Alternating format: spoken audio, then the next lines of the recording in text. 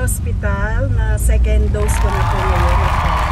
Napupuli vaccinated na tayo. Pagkaas po yung hospital dito sa aming banda. So ayan, medyo maulan po guys. Ayan, patungo tayo sa hospital. O ba? Parang mountain talaga siya. No? Mahirap lakarin. Kaya kailangan sumakay po tayo ng sasakyan. Medyo maulan po sa ngayon guys. Ayan, itutur namin kayo dito sa lugar na to.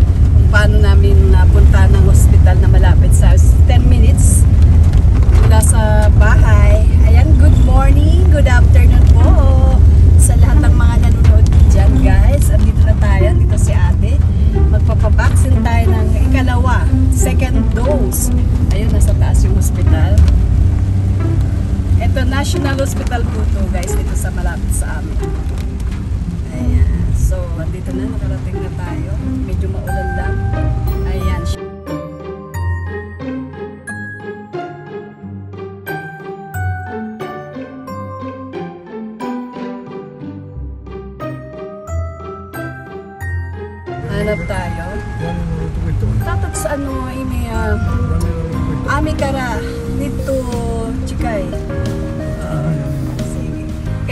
Guys,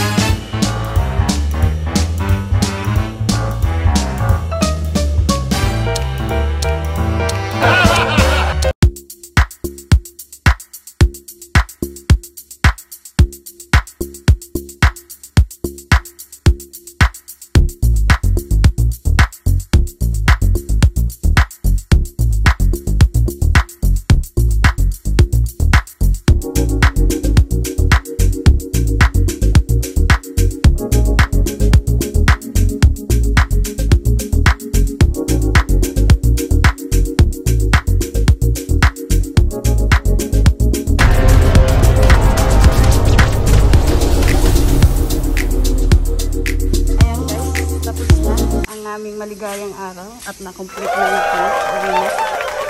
Yun na daw, umuulan. So, nakaraos tayo guys. Sa ano, aking boss. Ayan. Ang aking boss, kasama ko. Arigato!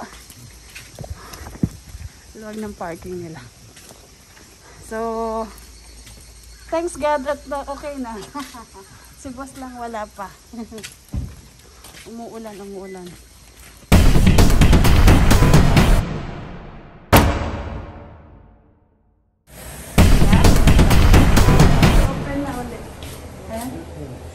Kainan ulit guys.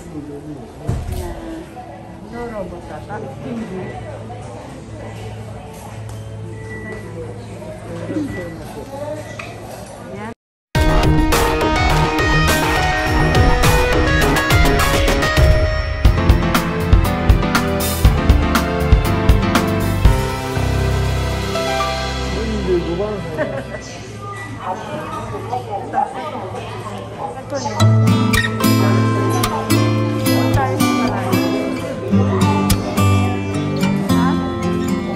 Ano to?